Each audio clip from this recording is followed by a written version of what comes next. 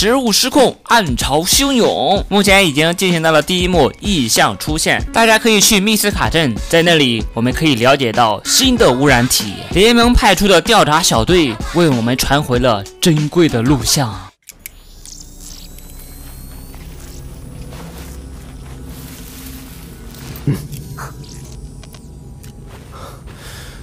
想不到这里也被侵蚀了，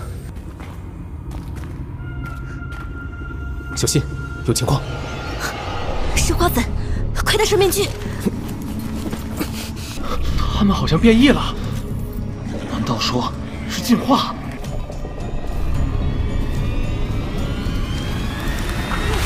啊啊！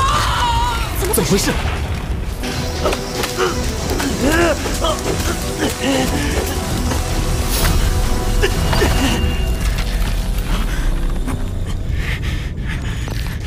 为什么你能控制这些东西？